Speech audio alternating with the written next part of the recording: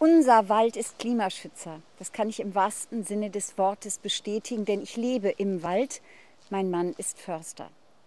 Ein Drittel der Fläche in Deutschland sind mit Wald bedeckt. Das wird in vielen Sonntagsreden erwähnt, zur Wahrheit gehört. Dieser Wald braucht Hilfe.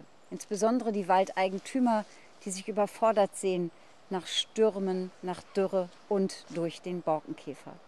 Deshalb haben wir als CDU-CSU-Bundestagsfraktion dafür gesorgt, dass zusätzliche Mittel eingestellt werden und dass es Hilfe zur Selbsthilfe in der Fläche geben wird. Aber das alleine reicht nicht. Die Gesellschaft muss anerkennen, dass die CO2-Bindungsleistung, die Leistung, die der Wald bringt, als Erholungsraum, als grüne Lunge, aber auch als Arbeits- und Wirtschaftsraum endlich honoriert werden müssen. Denn unser Wald sind wir alle.